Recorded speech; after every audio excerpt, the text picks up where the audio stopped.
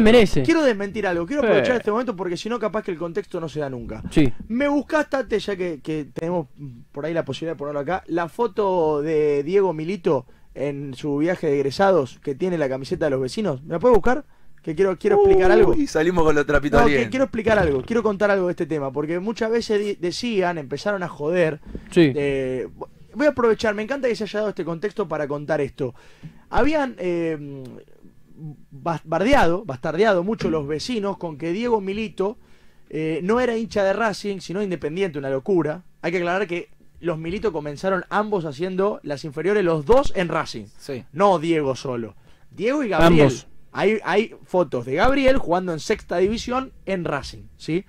Después, a raíz de una foto que se filtró, una foto donde Diego Milito está en su viaje de egresados, cuando era pibe, eh, con la camiseta de Independiente, esa camiseta vieja, color blanca, horrible Fea, camiseta, como la gran fea. mayoría ahora, es una, una gris espantosa.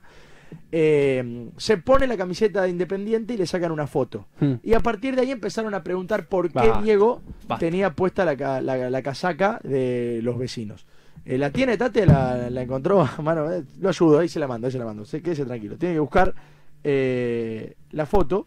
Más- Terrible y sacada de contexto encima. No, no, no, no. Ahora le voy a explicar cuál es el contexto yo. eh, cuál es el contexto. Pasa que se la quiero mandar. Sabe que no la vi esa foto, ¿eh? No la vi esa foto. No, no, no, está bien. Está, ahí, ahí está, ahí la tiene. No, la vi, no la vi la foto. No La foto corresponde al viaje de egresados, como decíamos, de Diego Sí. Milito en el secundario. Tuvo que jugar un partido. No, esto no lo contó. Ahí está. Ahí está la foto. Po. Si, si podés agregar también, Juan, hay una que está con los amigos. Qué fea camiseta. No sé si de, de los Esa vecinos o de Morón, ya la camiseta es horrible. Qué Bueno, fea camiseta. Esta es la que Dios. está, esta es la que está Diego con la camiseta horrible de los vecinos. Quiero explicar el contexto de esto. Jugaron un partido de fútbol a la tarde. Para justificar esto tenés que ver la foto completa. Que está con los amigos. Sí. Jugaron un partido de fútbol a la tarde en el cual Diego pierde el partido. Claro, Perdieron. apuesta. Y en la noche vieron que cuando los es viaje de egresado, vos qué Sí. tenés que hacer a la noche, te tenés que disfrazar. Exacto. Vos te tenés que disfrazar. Claro.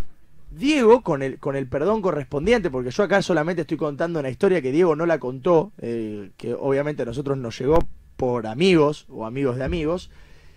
Eh, ahí estaba, esa- esa- ahí está con los amigos. Ahí van a poder observar que todos los amigos de Diego están eh, con...